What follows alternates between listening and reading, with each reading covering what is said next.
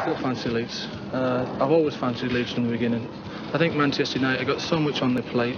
I don't think the manager knows what his best side really is. I think Howard Wilkinson knows what his best side is, and if he can feel that every week, then uh, I'm, I'm sure that they'll win the championship. Well, that was Chris Kamara. He seemed pretty confident.